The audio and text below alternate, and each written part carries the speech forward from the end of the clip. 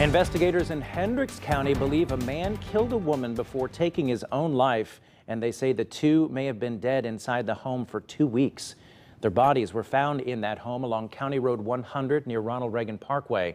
Police went to the home yesterday morning because a family member was unable to reach their loved one and she hadn't shown up for work for several days.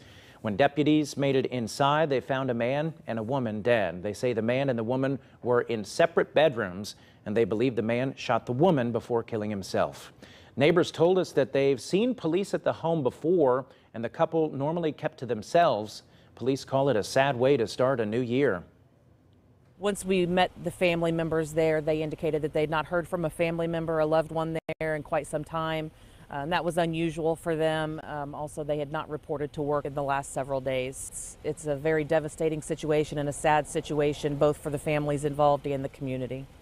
The sheriff's office said it had done several welfare checks prior to this, but had not found anything out of the ordinary.